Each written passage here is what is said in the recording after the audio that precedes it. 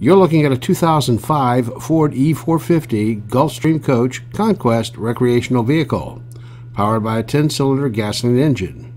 Vehicle was started up and was driven to location of video. 133,687 miles on the odometer.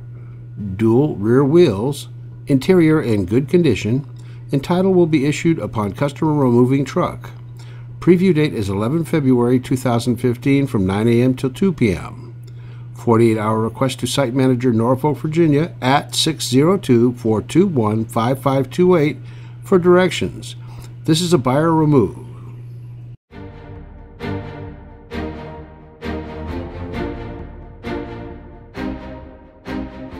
Liquidity Services provides buyers and sellers with the world's most transparent and innovative online marketplaces for surplus assets.